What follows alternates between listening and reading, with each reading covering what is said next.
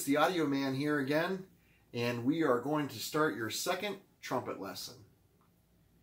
The way you hold your trumpet, your third finger on your left hand goes into this into the third slide ring, okay, like so.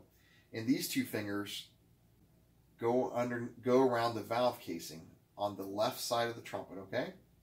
Your thumb relax or goes into the first slide thumb holder, okay? And then the, your thumb on the other hand rests on the outside of the valve casing like so, all right? And your fingers go on top of the valves, not straight up like this, but a nice relaxed position. Like you want it, you want them on your tips but kind of like a little bit of a, at an angle, kind of like a 45 degree angle. The other thing I want to show you is when you're putting your mouthpiece in your trumpet, you don't want to just put it in there and just go boom and jam it in there, okay, with your hand. You want to take your trumpet mouthpiece, put it in the trumpet, and you just give it a little twist. And look, it won't come out. It's in there solid. The only way you take it out, that you can get it out, is if you twist it the opposite direction, counterclockwise, and pull it out, okay? Once again, you put it in, give it a little twist, and it's in there snug, okay? If you pound it in there, more likely you're going to get your mouthpiece jammed in there, or if you drop your trumpet, you will jam the mouthpiece in there, and you will have to take it to a music store to get it removed, to have them take it out for you, okay?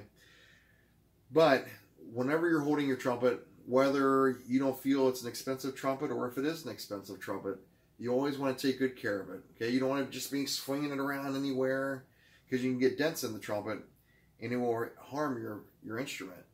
And then you have to take those out, and and what happens is it starts to change the sound of the instrument, and you don't want to do that. You want to keep your your instrument in great condition.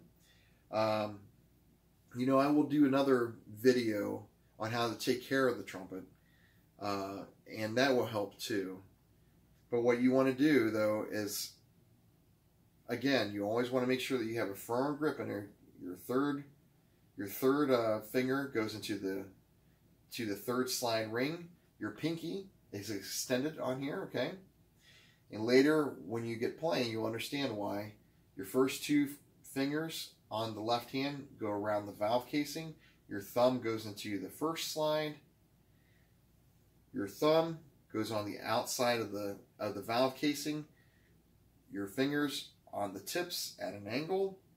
Okay, and then your pinky on your right hand goes in the pinky holder. Okay, now the other thing I want to tell you, you never want to play your valves like this. Now, as you you'll see that I will do tend to do that from time to time if I'm doing some jazz stuff and things like that. As you know, as the lessons progress. But if I'm doing any hard playing, I do always play on my tips. And the reason for that is when you're on your tips, like I showed you, you can play faster and you, you you're more accurate. If you play like this, it slows you down. But on some music, when you're doing when you're getting into more of the advanced techniques, it helps you to do certain little tricks, and it's kind of a style, I guess you want to say, as you're a better musician. But if you're playing anything that's fast, as you will notice with other professional trumpet players, they do play up on their tips when it's a fast passage. And of course, right now at this level that we're starting, you know, you don't have to worry about going super fast or anything. But let's concentrate on just getting the notes, and you want to try to keep them as steady as you can. Okay, so you want to try to not make the note go waver like this. You don't want to go. You don't want to do that. You don't want to move it around on your lip. You put it right on the lip where you need to put it. Okay. We want to, I want to go over that again because it's so important to have your embouchure correct, okay? Again, two thirds on the upper lip, in the center of your lip, one third on the bottom part of your lip, okay? That will ensure that you're playing correctly, all right? And I know it sounds like a lot of things to remember, but as you get further down, you'll be glad you did these things. It'll make it easier for you to play. It's a lot of things in the beginning, but once you get used to it, it becomes a natural a natural thing, just like playing a video game. First, you're like, oh, how am I going to do all these buttons, blah, blah, blah. But then eventually you get used to not looking at the controller. You look at the screen and you're just, and it comes automatic. Same with trumpet. If you put as much practice in playing your instrument as you would playing a video game, you'll be fantastic.